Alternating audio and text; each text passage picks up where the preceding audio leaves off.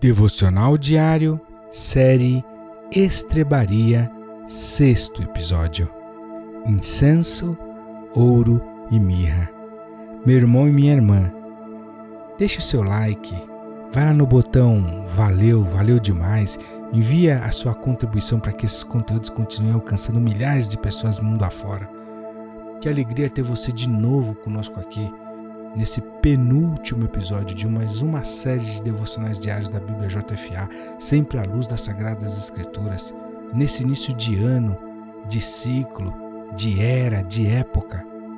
Estamos maratonando essa série chamada Estrebaria e hoje eu quero falar sobre os presentes que aqueles reis que citamos no episódio de ontem ofereceram a Jesus dos seus tesouros quando o encontraram naquela manjedoura envolto em panos dentro de uma estrebaria, que são também figuras para minha e a sua vida.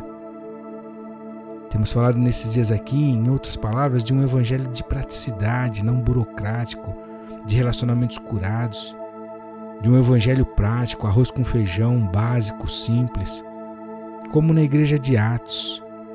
Era uma alegria, era uma igreja cheia de alegria e singeleza de coração temos falado do lugar da, da não complexidade, teoria, filosofia, do glamour, da ostentação. Quantos de nós temos vivido num evangelho, num ambiente ou em igrejas que nada se parecem com uma estrebaria, espiritualmente, evidentemente falando.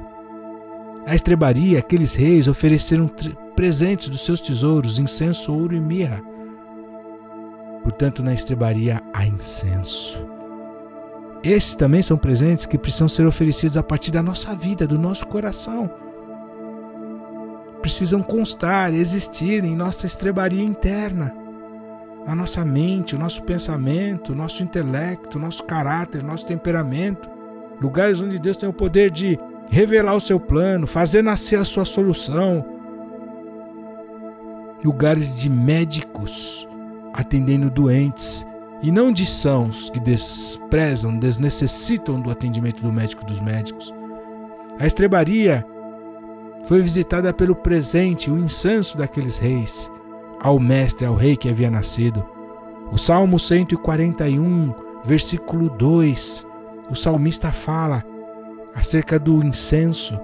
Ele diz: Subam, Salmos 141, 2: Suba a minha oração perante a tua face como incenso, e as minhas mãos levantadas sejam como o sacrifício da tarde.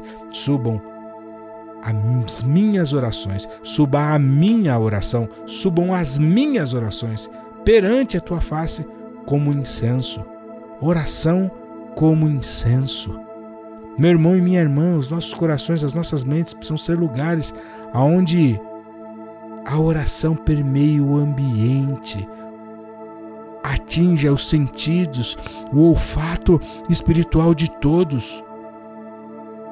Um incenso que invade o lugar, que se alastra, que altera o estado normal, que marca, que é perceptível, Assim também sejam as nossas orações perante a Deus, que elas invadam a presença de Deus, que Ele a, as perceba, as note, as registre. Um lugar que, que isso seja produzido e, e represente para Deus um presente. Não um cheiro fedido, a nossa vida, o nosso testemunho que cause aversão no Mestre, no Rei, no Deus o nosso coração precisa produzir esse perfume, um incenso agradável, como um presente. Outro presente, extraído da riqueza daqueles reis, e nós falamos que nós somos colocados como reis no episódio anterior, reis e sacerdotes. Então, além do incenso, nosso coração também precisa emanar outro presente para o Mestre, para o Deus que se materializa dentro de nós. É o ouro Incenso e ouro, esses são os nossos valores.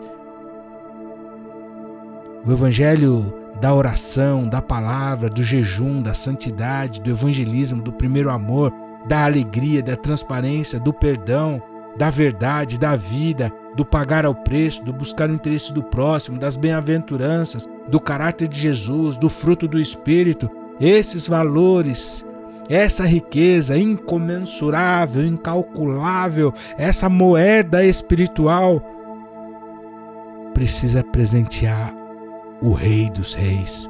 Precisam ser oferecidos a partir da nossa vida, da nossa igreja. E a mirra, porque foram três os presentes: incenso, ouro e mirra. E mirra era um perfume, um perfume caro.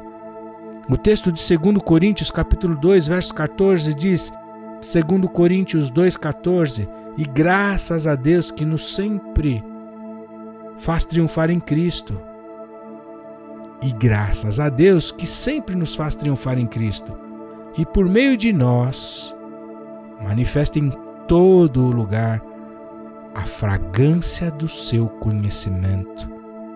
Porque para Deus somos o bom perfume de Cristo, nos que se salvam e nos que se perdem. O conhecimento de Cristo em nós seja manifestado em todo lugar como um bom perfume. A palavra de Deus viva, praticada em nós, seja um bom perfume para Deus.